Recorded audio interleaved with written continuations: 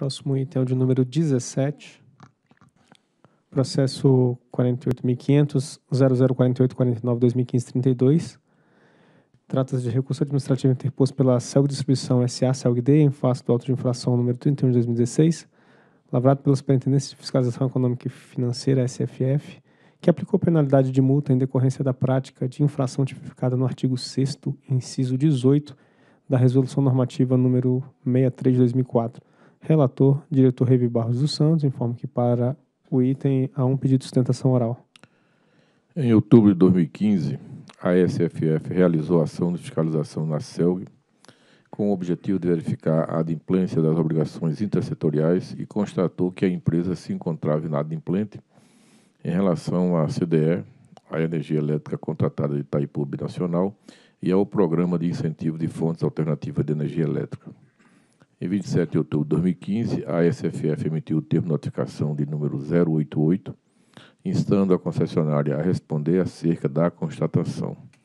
Em 28 de março de 2016, após analisar as manifestações da distribuidora, a SFF lavrou o auto de infração de número 031, por meio do qual aplicou a multa de R$ 42.432.268,43 em função da inobservância do inciso 7 da cláusula 5 do contrato de concessão 063-2000, tipificada no artigo 6 inciso 18 da Resolução Normativa ANEL 63, conforme tabela que segue. Então, na tabela que segue, nós temos apenas uma não conformidade, a NC1.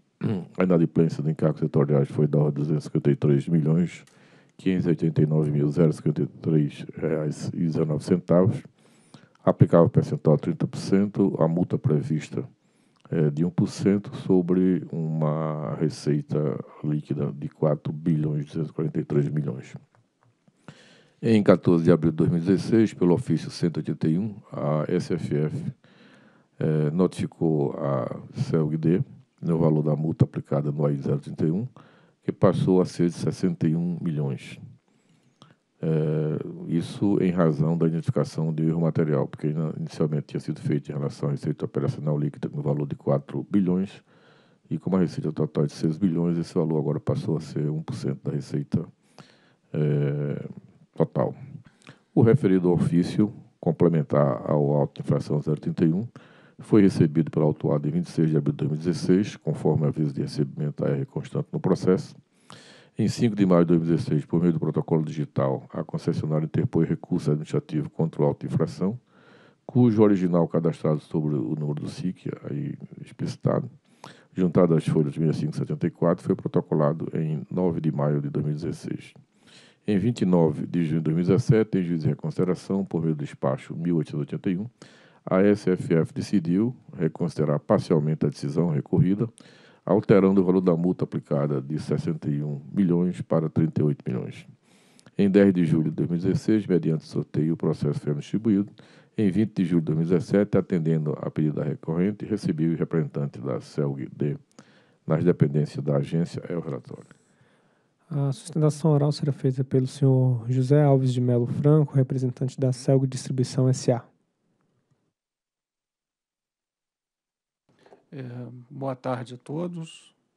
Estamos vindo aqui num processo, como a gente vai ver, fica difícil a gente entender e aceitar uma imposição de uma multa desse porte, é, tratando-se de um momento em 2015, como a gente vai ver que há inadimplência também por parte de, de, do gestor da conta de CDE, hum. junto às distribuidoras, de maneira geral, e também há um déficit tarifário muito grande, decorrente do que a gente vem vivendo no setor de distribuição, que os 20% da parcela B tem que suportar variações de 80% da receita que está na parcela A agravado ainda numa situação de uma empresa estatal em processo de renovação da concessão, sem definição dessa renovação.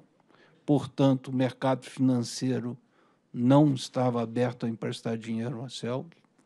e com dificuldades. Imagino aqueles administradores públicos o que fizeram.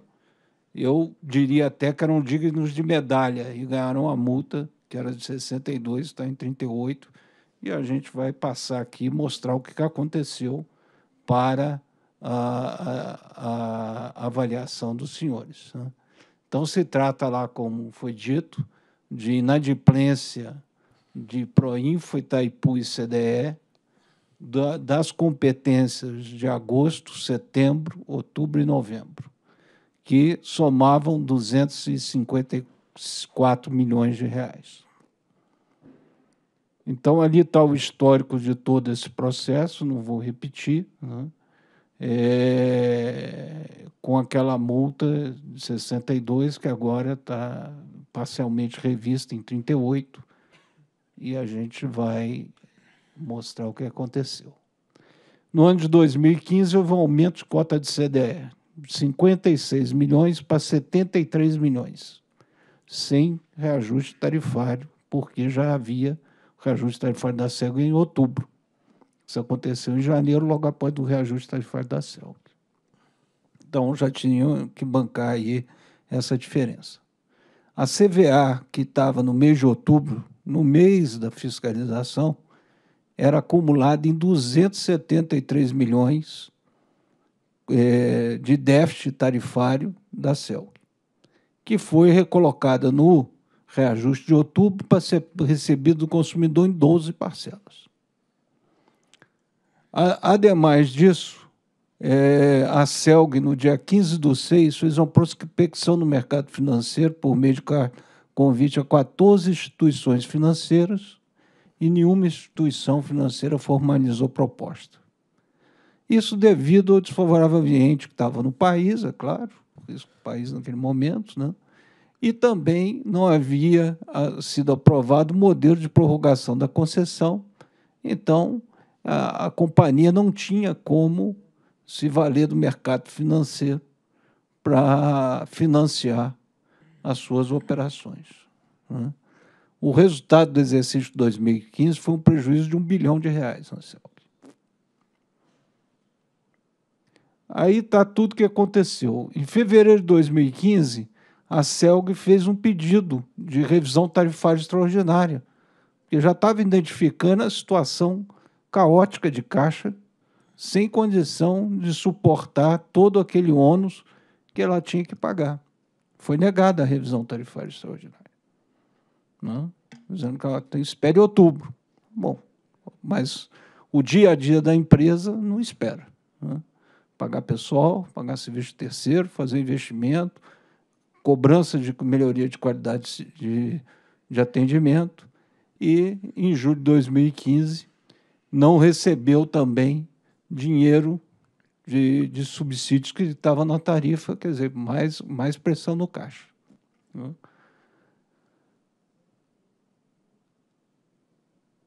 Agora, qual foi o atraso? Bom, o atraso médio, a gente vai ver, foi dois meses e meio. Se pagou todas essas contas dentro do mesmo exercício. Está ali ah, o, o, todos os pagamentos que eram devidos, quando que foi feito o pagamento.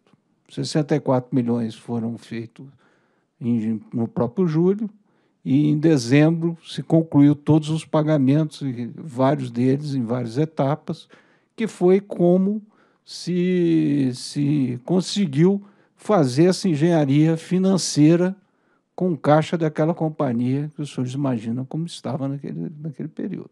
Né? na independência média de, de 72 dias.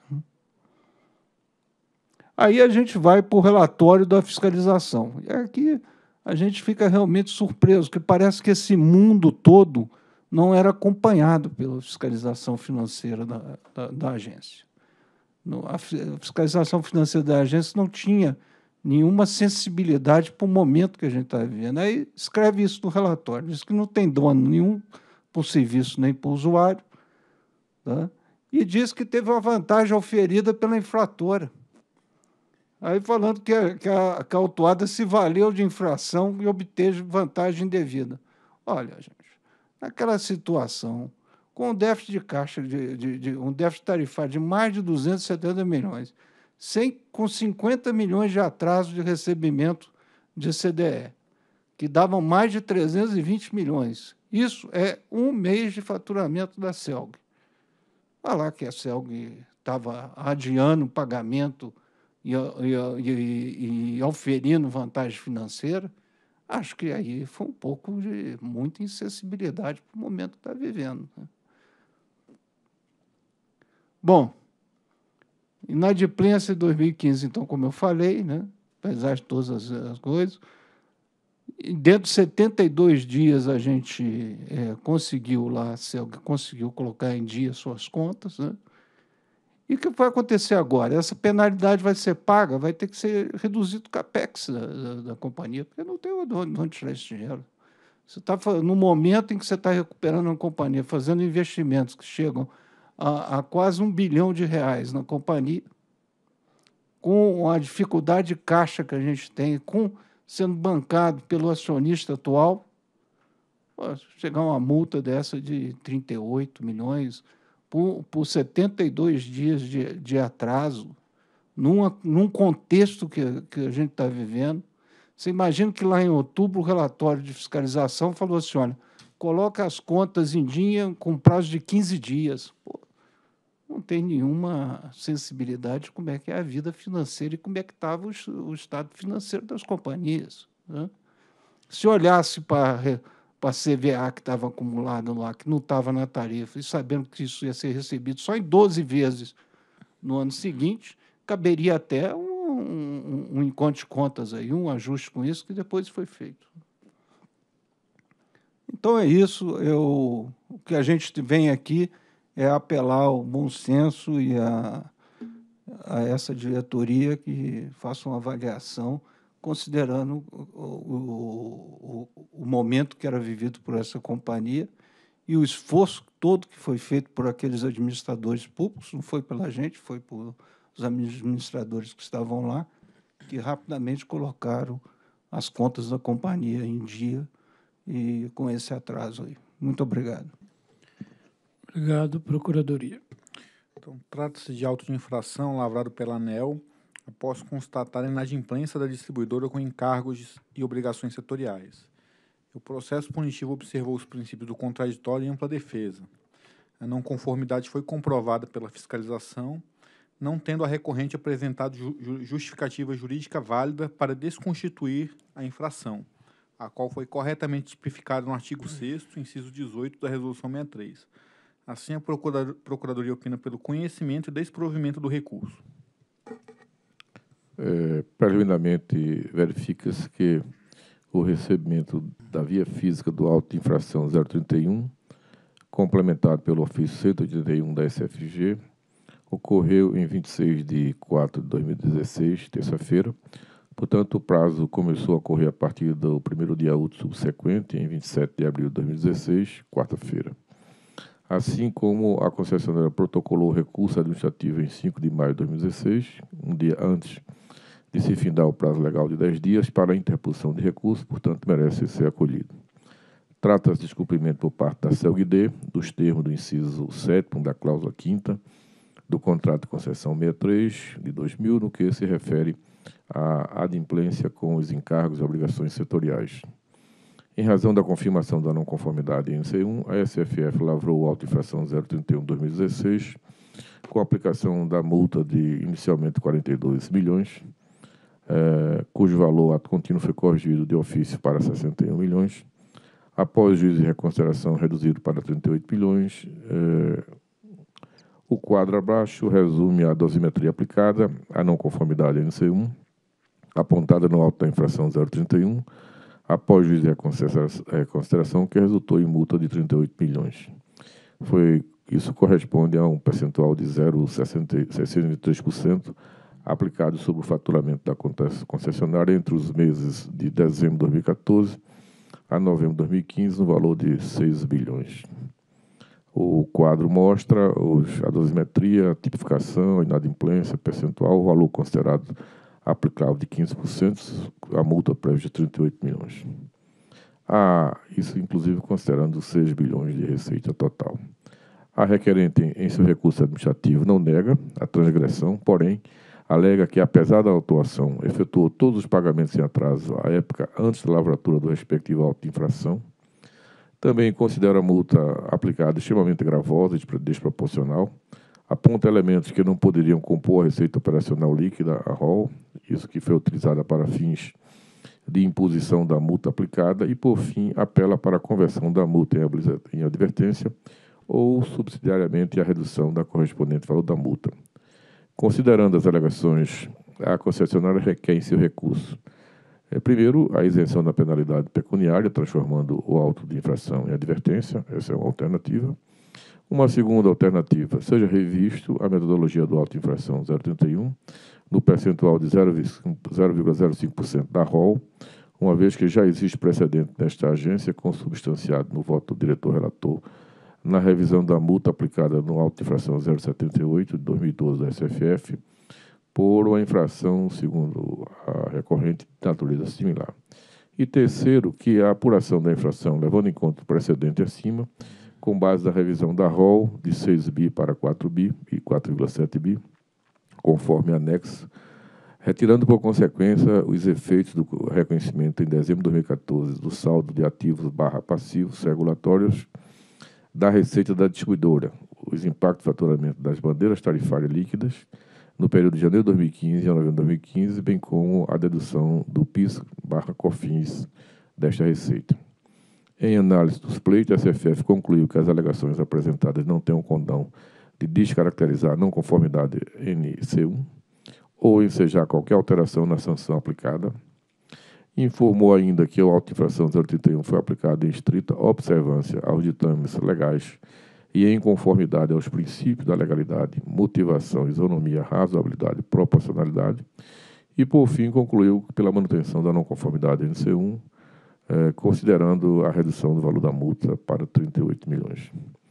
Sobre o pedido de conversão da penalidade de multa em advertência, cumpre observar o estabelecido no artigo 8 da Resolução 63, que atribui ao julgador mera faculdade e não imposição, portanto, a conversão da pena de multa em advertência deve ser avaliada em razão das características do caso concreto e da gravidade da infração cometida pelo agente setorial. E, nesse sentido, a SFF destaca nos autos a existência do banco de dados desta agência da prática de idêntica infração cometida pela CELGD nos últimos quatro anos anteriores à ocorrência da infração em tela e ainda que foi caracterizada a gravidade e o alto potencial ofensivo da conduta praticada pela recorrente, que restou assim consignada quando a lavratura do auto-infração. Por fim, afirma que não se justifica, no presente caso, a aplicação da pena de advertência em substituição à sanção de multa, no que concordo com a SFF.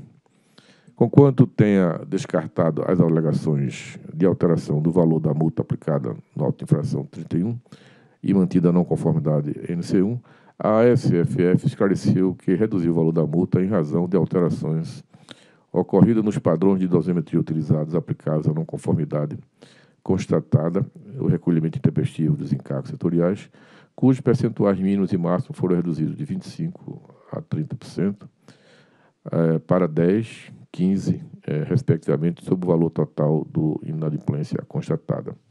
Ponderando sobre o recurso impetrado pelo requerente, não tenho dúvidas quanto à infração cometida e compartilho do entendimento da SFF pela manutenção da não conformidade, NC1.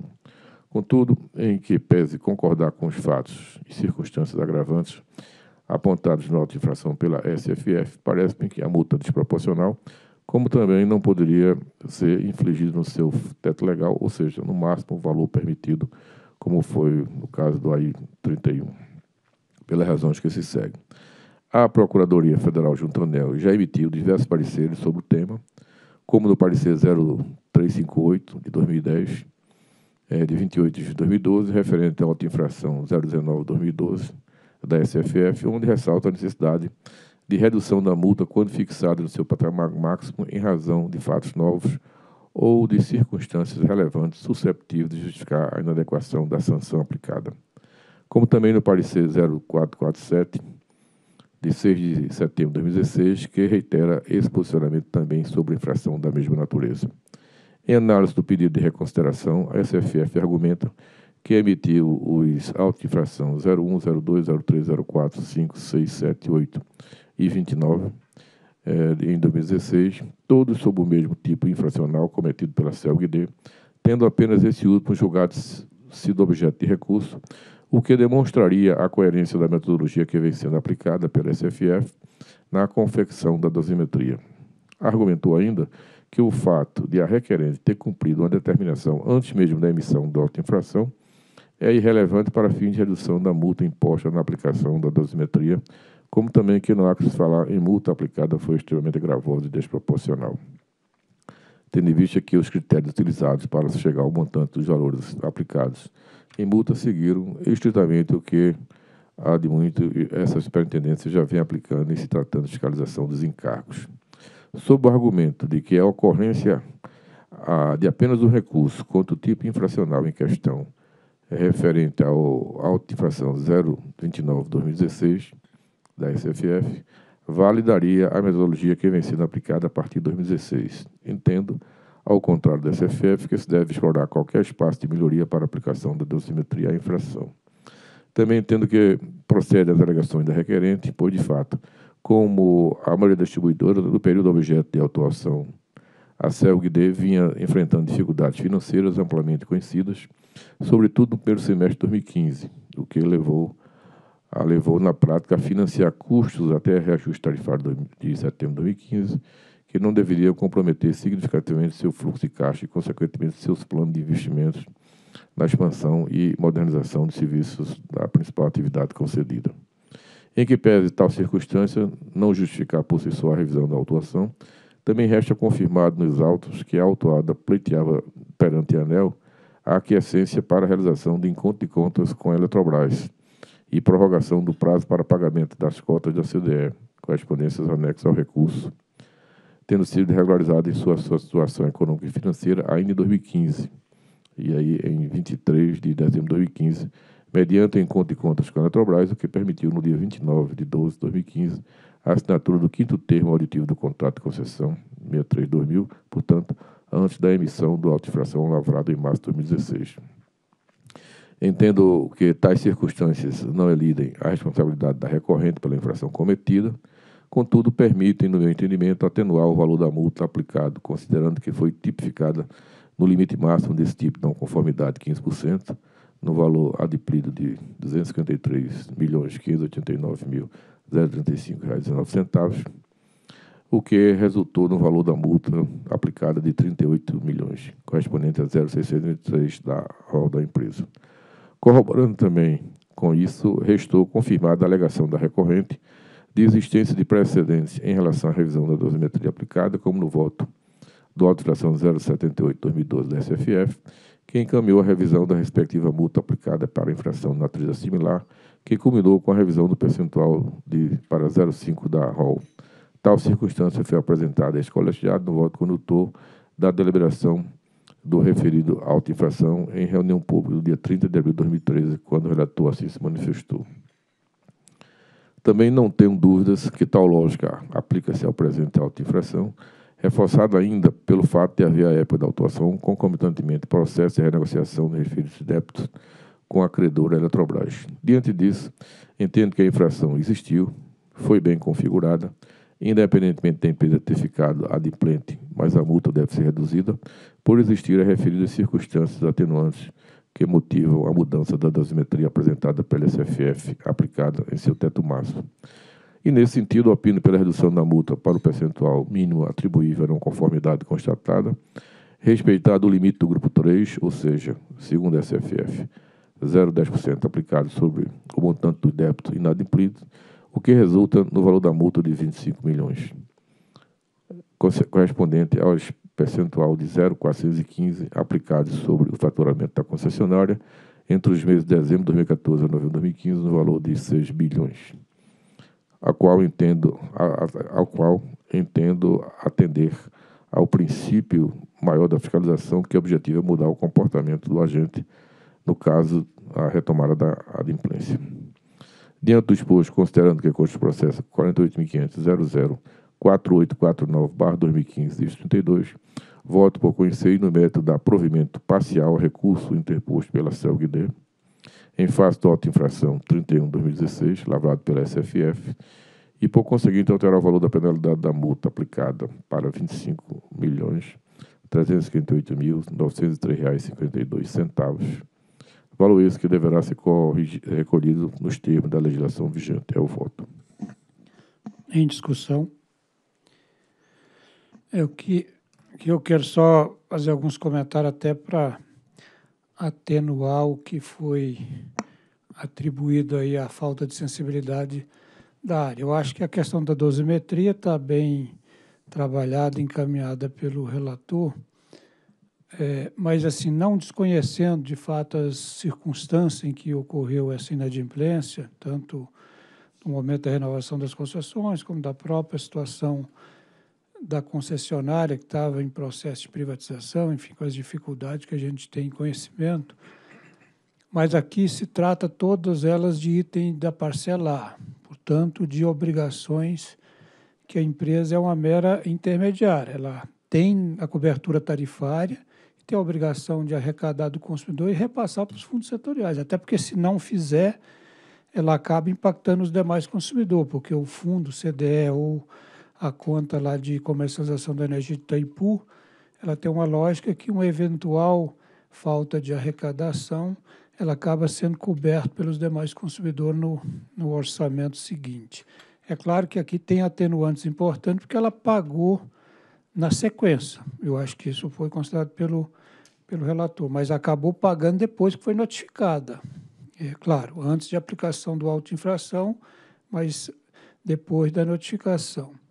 E certamente ninguém deseja ver o setor elétrico numa situação como já vimos no passado, de uma inadimplência generalizada que faliu o modelo do setor elétrico naquela oportunidade. Então, eu acho que essa vigilância com o pagamento das obrigações eh, intrasetoriais é fundamental. Por isso que eu acho que a própria lei coloca um rigor maior, até no limite impedindo o processo tarifário, caso essa inadimplência esteja presente no momento do aniversário tarifário. Então, eu não, acho que aqui seja uma questão de pouca relevância, muito pelo contrário. Eu acho que o processo de fiscalização e de vigilância do acompanhamento do pagamento das obrigações intrasetoriais deve ser feito, está correto. Talvez na dosimetria, de novo, que eu acho que no juízo de reconstrução e depois na própria proposta do relator, é, talvez tenha atenuado o que deveria ser feito mesmo em função da circunstância, mas eu, eu, é extremamente grave uma empresa deixar de pagar obrigações dessa natureza.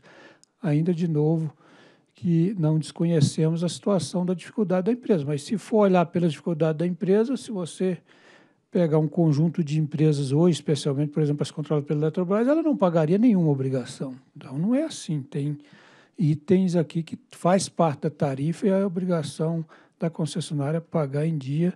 E aí a gestão financeira, é, de fato, é uma questão de competência da empresa. Mas, assim, eu acho que realmente tem elementos, o fato, ainda que depois de notificada é, ter sido feito o pagamento, é um atenuante importante. Portanto, essa, é, essa revisão da dosimetria que propõe o relator, eu acho que trata bem essa questão. Bem, em votação. Eu voto com o relator. Também voto com o relator. Também voto com o relator.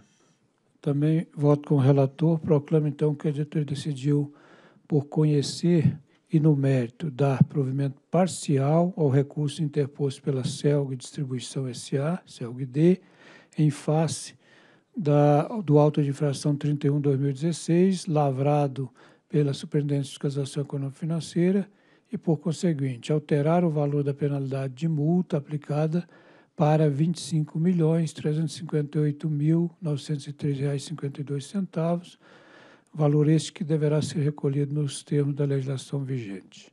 Próximo item.